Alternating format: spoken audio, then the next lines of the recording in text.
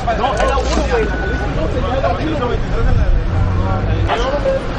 fuerte movilización policíaca por diferentes calles de esta ciudad provocada por un conductor que actuaba de manera sospechosa, ya que al marcarle el alto para inspección los elementos de la Dirección de Seguridad Pública Municipal, este se dio la fuga y en su intento de persuadir a los policías se volcó a la altura del callejón Jalisco y calle Segunda al impactarse con la llanta frontal izquierda en el cordón de contención provocando la volcadura proyectando a este a un cerco de malla ciclónica. Según fuentes oficiales señalaron que en esta unidad viajaban dos individuos que durante la persecución presuntamente uno de ellos ellos bajó del auto a la altura de la avenida Jalisco y la calle 13, cambiando así de conductor por el de nombre Omar Vázquez de 40 años de edad, quien era el conductor al momento de la volcadura. El vehículo involucrado es del tipo vagoneta marca Tajo de color negra modelo 2000 con placas de circulación vigentes de esta frontera, la cual tuvo que ser removida a fuerza física por los agentes municipales, pensando que el acompañante estaba atrapado en el costado de la camioneta ya que se encontraba de lado. La persona lesionada fue trasladada por la Benemérita Cruz Roja al Hospital Básico de Salud en condición crítica,